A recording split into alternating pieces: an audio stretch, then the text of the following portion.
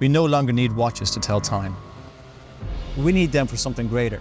Timepieces have become a statement of how we want the world to see us. Bold, colourful, unique. Those are the words we use to describe aspiring personalities. And with Bersigar, you'll use those words for watches.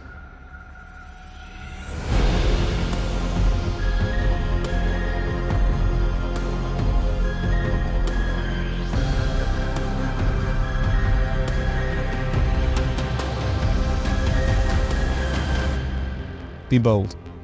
Be Bersigar.